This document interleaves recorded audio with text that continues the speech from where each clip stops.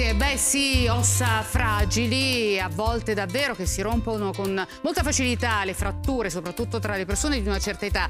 E beh, la causa potrebbe essere l'osteoporosi. Questa è una malattia silente che improvvisamente arriva senza che ne accorgiamo e soprattutto magari se siamo in quel periodo fisiologico eh, della vita delle donne che è la menopausa. Ma qui insieme al professor Corsello che è tornato a trovarci, io ricordo ordinario di endocrinologia endocrinologia all'Unica Millus eh, di Roma, nonché endocrinologo al Policlinico Gemelli eh, sempre qui eh, di Roma. Cercheremo di dare alle nostre, specialmente alle nostre telespettatrici, ma anche ai nostri telespettatori, ai nostri amici che ci stanno seguendo, anche loro soffrono possono soffrire di osteoporosi.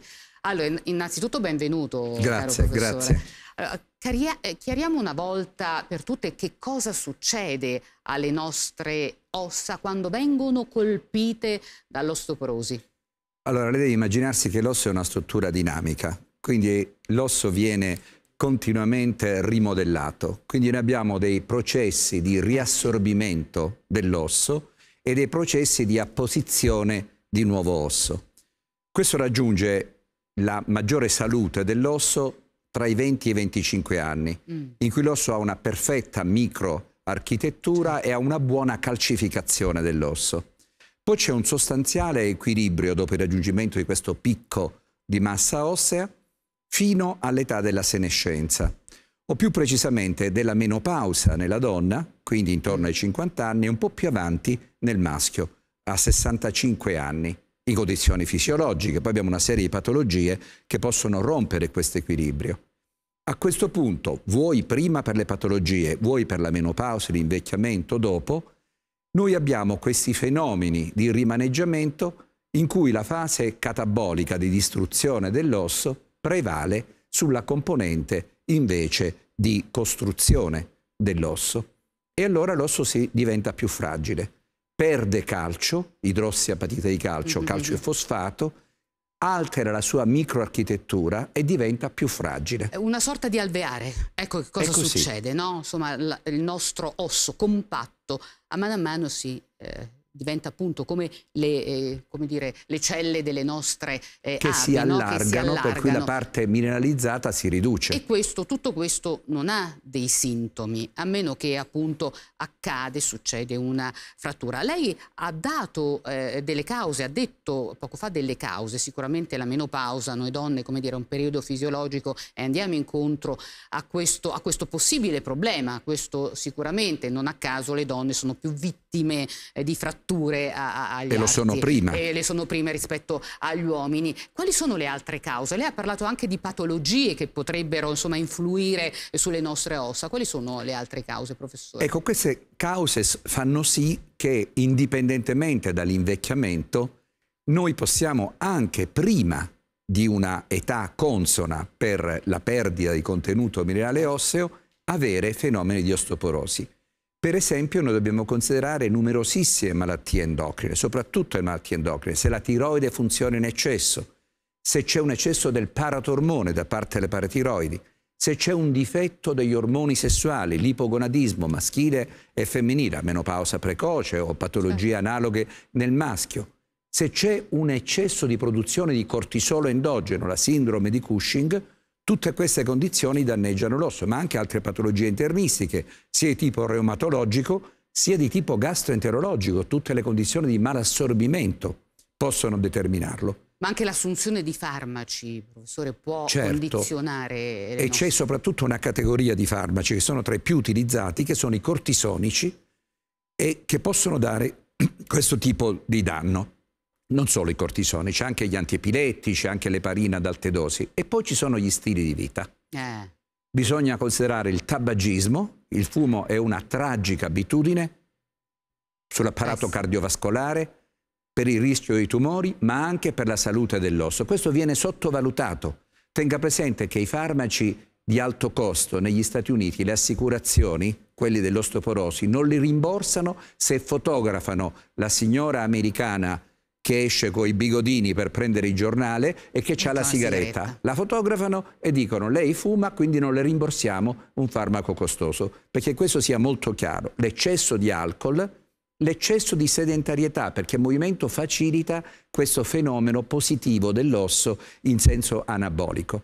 E, e poi anche stare troppo al chiuso e non esporsi alla luce naturale, che non significa crogiolarsi al, al sole, sole, che aumenta certo. il rischio di melanoma significa avere una buona esposizione alla luce naturale. E noi tutto questo lo vogliamo, dobbiamo prevenire. In che modo eh, possiamo prevenire tutto questo? Professore, lei già ha parlato, insomma, del cambiamento di stile di vita, immagino alimentazione, appunto attività fisica, implementare, fare attività fisica che non significa, eh, come dire, segnarsi in palestra e fare i culturisti, però insomma fare qualche, qualche movimento con di buon senso anche quello. Anche con buon senso, con anche, buon senso quello. anche quello. Allora sicuramente però ci sono, eh, come dire, possiamo prevenire. Allora, allora, la matrice dell'osso, quella che deve essere calcificata, è una matrice proteica, quindi un'alimentazione mediterranea, sana, varia, regolare, ricca di proteine, quindi secondo proteico magro, eh, sicuramente è di grande utilità.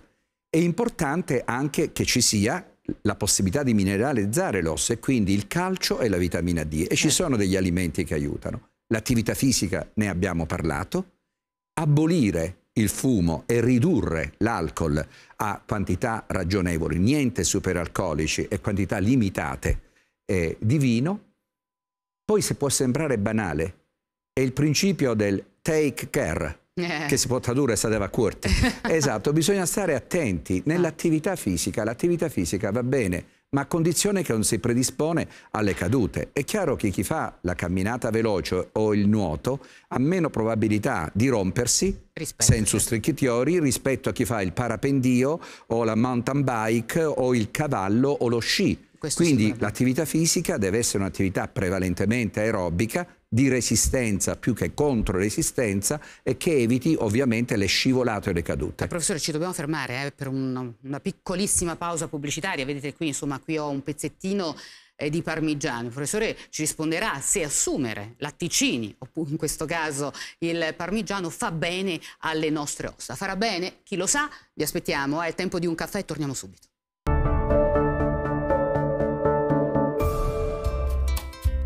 Bentornati in diretta, siamo in compagnia del professor Salvatore Maria Corsello. Beh, stiamo parlando di osteoporosi, questa malattia silenziosa che attacca le nostre ossa ci siamo lasciati con una domanda. Se un pezzettino di parmigiano può aiutare le nostre ossa, come magari anche altri formaggi, altri latticini, è vero o no? È verissimo perché l'alimentazione è assolutamente importante per l'introduzione di una adeguata quantità di calcio e in misura minore di vitamina D, perché la vitamina D in realtà per i 4 quinti è prodotta dalla cute in seguito all'esposizione alla luce naturale e nella maggior parte dei casi va supplementata perché la cute non ce la fa. Mentre il calcio si introduce con gli alimenti il latte e i latticini derivati caseari sono sicuramente la fonte più importante, anche quelli a basso contenuto di grassi, anche quelli parzialmente escremati, questi vanno bene vanno uguali, bene. sia per il latte che per i latticini. E ci sono anche altri cibi, vero professore? Le verdure a foglia larga, i broccoli, i cavoli, i cavolfiori, i legumi. Le verdure di stagione, insomma, le, le verdure, verdure di stagione. Bene. Poi anche i cereali integrali, la frutta secca e, e, anche i pesci. I pesci soprattutto le mh, sarde, le acciughe, il tonno, il salmone hanno un buon contenuto eh, di calcio e in qualche misura di vitamina D. Allora, eh, rispondiamo un po' ai nostri amici che ci stanno seguendo da casa, eh, rispondiamo ad Anna, ci scrive dalla provincia di Genova, ci chiede, soffro di osteoporosi, come posso scegliere un'acqua adatta a me? È vero? Questo è molto è interessante perché le acque hanno delle etichette in cui c'è eh, indicato il contenuto di calcio. Se uno soffre di osteoporosi conviene che prenda un'acqua sufficientemente dura, ricca di calcio e questo significa un valore almeno superiore a 150 mg litro. Nell'etichetta è segnato. Certo. Tenga presente che esistono in Italia acque, acque anche con 200, 300 e perfino un'acqua che ha 400 mg di sarà il medico certo, a indicare perché se uno sì. c'è calcoli renali meglio di no però in una situazione di osteoporosi questo può essere utile quindi leggere l'etichetta che ci sia almeno 150 milligrammi litro. Una cosa da sfatare è che l'acqua del sindaco sia molto dura perché eh, si calcificano mm. i, i, tubi. Ah. Non è così, è un'ottima acqua quella non soltanto di Roma, di Roma. No. l'acqua di Roma è un'ottima acqua, ma non è particolarmente dura. Quindi in questo caso gli altri alimenti aiutano, aiutano a introdurre il calcio. Insomma, a implementare. Nella insomma... maggior parte degli acquedotti c'è tra i 100 e i 150 mg litro. Allora, la prevenzione passa anche attraverso la diagnostica, gli esami diagnostici. Ci sono degli esami per farci capire a che età devono essere fatti questi esami? Allora, l'esame d'oro, il gold standard, è la mineralometria ossea computerizzata, la densitometria ossea. Questo è un esame semplicissimo e conviene essere chiari la MOC. La, ecco. MOC. La MOC è un esame semplice, innocuo e a bassissima irradiazione. Talvolta sente dire non faccio la MOC perché ho fatto un attacco il mese prima. La radiazione della MOC, quella col metodo DEXA, quello comunemente utilizzato, dà un'irradiazione veramente minima. E che cosa ci racconta la MOC? Ci sono anche, eh, in questo caso, insomma, anche l'innovazione, la tecnologia è andata avanti, sì. ci dà anche un valore, il famoso TBS, no? Esattamente, il TBS un... è una evoluzione e ci dà, se ricorda quello che dicevamo dell'ossa di quelle trabecole, ci dà una misura non soltanto del contenuto di calcio, che è, è appunto la densità, ma anche della struttura trabecolare. È il trabecular bone score, quindi questa è una misura supplementare che oggi i, grandi centri danno con la stessa attrezzatura come misura complementare oltre a quel T-score che indica la differenza rispetto ad una persona di pari sesso ai 30 anni. E lì se scendiamo al di sotto di meno 1 si parla di osteopenia, al di sotto di meno 2,5 di osteoporosi e quindi necessità di un trattamento. E, e in base a, a cosa insomma, ci eh, rivelerà la MOC, ci sono delle terapie anche, ad hoc, cioè si parla di farmaci, poi parleremo anche di integrazione con la vitamina D, ma ci sono dei farmaci che aiutano in qualche modo le nostre ossa a non fratturarsi? Assolutamente sì. Se noi abbiamo una situazione di osteoporosi secondo quei criteri di T-score, noi abbiamo farmaci straordinariamente utili su cui non bisogna avere prevenzioni perché ci sono delle inutili prevenzioni sui possibili effetti collaterali, ma questi effetti collaterali sono veramente remoti, mentre l'utilità di questi farmaci è eccezionale. Abbiamo dei farmaci che agiscono su quei due meccanismi. La maggior parte più utilizzati sono gli antiriassorbitivi, cioè quelli che contrastano il fenomeno di distruzione dell'osso e sono soprattutto i bifosfonati e un anticorpo monoclonale che è il denosumab e poi ci sono delle sostanze estrogeno simili che si chiamano i SERM. Dipende anche dall'età della paziente, immagino. Dall'età e dalla gravità dell'osteoporosi, certo, perché ecco. altrimenti noi possiamo utilizzare nelle forme più gravi dei farmaci anabolici, come dei, dei simili al paratormone, il teriparatide e adesso un nuovo anticorpo che si chiama romosozumab, che agiscono viceversa soprattutto nella fase di ricostruzione dell'osso, ma il, il, risultato netto dell'uno e dell'altro certo che si interrompe la progressione dell'osteoporosi, età eh, o malattia relata, ma qualche volta si riesce ad avere, spesso si riesce ad avere, addirittura un regaining, una ripresa ah. di contenuto minerale osseo, cioè l'osso migliora sia in termini di contenuto minerale sia di quella microarchitettura e il risultato è la riduzione netta del rischio di frattura, che è il nostro obiettivo, certo, il nostro... quello di evitare la frattura soprattutto di femore e di colonna. Esatto. E rispondiamo adesso a Elena, ci scrive dalla provincia di Verona, ci chiede sono in menopausa, ho visto che in farmacia vendono diversi integratori con la vitamina D, li devo prendere? La vitamina D va presa se è documentato un difetto di vitamina D, oppure come elemento complementare di quei farmaci di cui parlavamo prima in cui c'è un effetto sinergico. Noi abbiamo diverse formulazioni di vitamina D, quella più utilizzata è il colecalciferolo, che è la formulazione base di vitamina D, che poi il fegato prima e il rene dopo attivano con dei fenomeni di idrossilazione.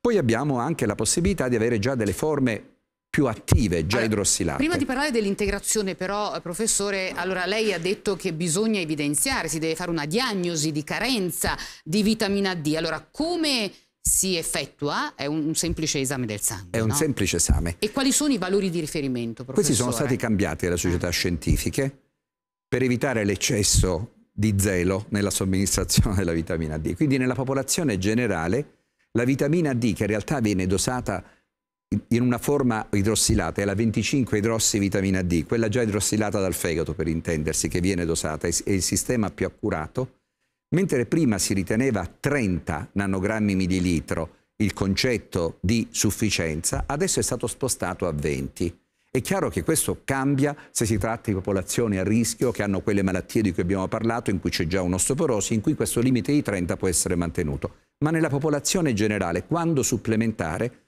noi possiamo considerare una situazione di insufficienza al di sotto di 20 e di grave insufficienza, che noi chiamiamo carenza, al di sotto di 10 nanogrammi millilitro. Quindi i, il, i, numeri da ricordare sono essenzialmente 20, 20 e, 10 e 10 nella popolazione generale, con un obiettivo di 30 in una popolazione a rischio. Grazie, grazie di cuore al professor Salvatore Corsello. Beh, adesso voltiamo pagina perché ci dobbiamo occupare anche di malanni di stagione e come rimediare e tornare in forma. È vero Fabiola?